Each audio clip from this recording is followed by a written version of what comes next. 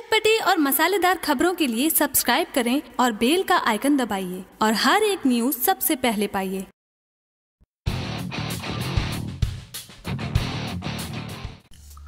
बॉलीवुड के दबंग सलमान खान को ऐसे ही बॉलीवुड का दबंग नहीं कहा जाता है, क्योंकि इनकी फ़िल्में जब भी बॉक्स ऑफ़िस पर रिलीज़ होती है, हमेशा अपनी पुरानी फ़िल्मों का रिकॉर्ड तोड़कर सलमान खान खुद एक नया रिकॉर्ड बनाते हैं। खास करके सलमान खान की फ़िल्म की अनाउंसमेंट जब भी होती है मीडिया में, सलमान खान की फ़िल्मों की चर्चा ज़ोर शोर से होने लगती है। इसी कड़ी में सलमान खान की अपकमिंग हिंदी फ़िल्म भारत के अनाउंस होते ही बॉलीवुड इंडस्ट्री में सनसनी मच गई। मीडिया रिपोर्ट की माने तो सलमान खान भारत एक अलग अंदाज में नज़र आने वाले हैं। अगर हम इस फ़िल्म में एक्ट्रेस की बात करें तो फ़िल्म में उम्मीद किया जा रहा है एक बार फिर से कटरीना कैफ की जोड़ी भारत में देखने को मिल सक। हालाँकि आपको बता दें कि भारत के मेकर्स ने अभी तक कोई भी ऑफिशियली स्टेटमेंट नहीं दिया है। फ़िल्म में सलमान खान के साथ कटरीना कैफ होने वाली है। लेकिन जिस हिसाब से टाइगर ज़िंदा है ने बॉक्स ऑफ़िस पर धमाल मचाया है उम्मीद जताई जा रही है कि भारत के फ़िल्म के मेकर कटरीना कैफ के साथ सलमान की जोड़ी एक बार फिर से दर्शकों को देखने को मजबूर करेंगे।